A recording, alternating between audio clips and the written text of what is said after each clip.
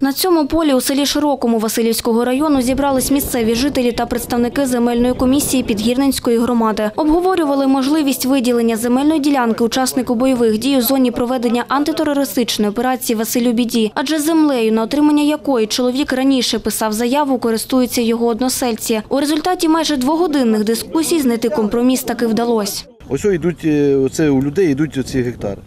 Ну ми іменно за оцю е, ділянку. Отут виділяється ОСГ, він Вася буде. А тут на цій стороні там ще одне де село край, отут у нього тут теж буде виділятися. Дійшли зараз до якої одної істини. Документація так само у нього, що тут, що там ну, немає. На ОСГ зараз Вася даємо тут, а цим людям е, равнозначно цієї землі даємо, там є земля біля їхнього двору. Там теж не- немає, де немає е, ні жильців, там дві-три хати жилих.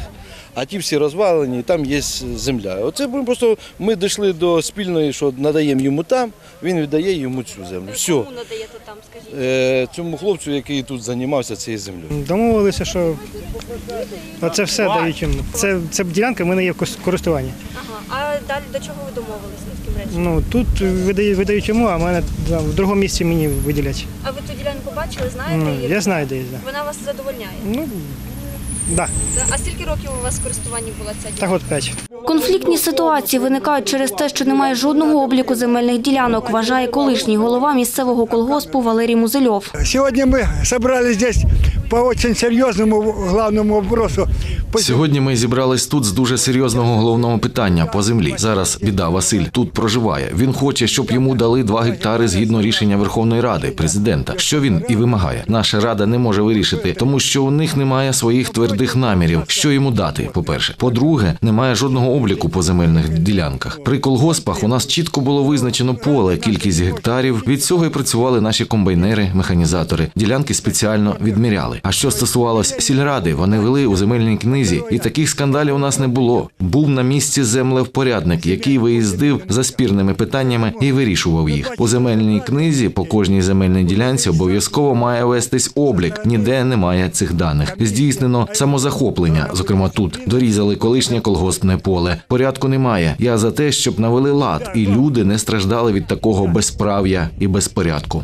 Після польового засідання Василь Біда та представники земельної комісії відправились до Підгірненської сільської ради. Тут чоловік написав нову заяву, в якій скоригував координати бажаної ділянки, адже тепер територіально вона розташована інакше. А представники земельної комісії склали протокол огляду ділянки. Написав я заяву, все-таки вроді би так, я зрозумів, ми домовились, прийшли компромісу, що земельну ділянку все-таки мені нададуть. Я переписав заяву, там просто графічні, якби трошки в сторону здвинулися і все. Просто ну, на даний момент якби я задоволений, ну будемо надіюсь, що воно на от буде комісія і розглянуть мою пользу. Те, що в іншої людини забрали її ділянку в її користуванні, я маю на увазі, і дали вам, як ви вважаєте. Ви також домовилися власне з тим паном? Ну, у нього земельна ділянка була якби незаконно, він її обробляв. Ну, йому якби земельна комісія пообіцяла компенсувати, щоб якби, ну, якби по-чоловічески це воно було. Тепер нову заяву Василя Біди зі скоригованими координатами розташування земельної ділянки розглянуть на плановому засіданні земельної комісії, після чого його винесуть на сесію Підгірненської сільської ради.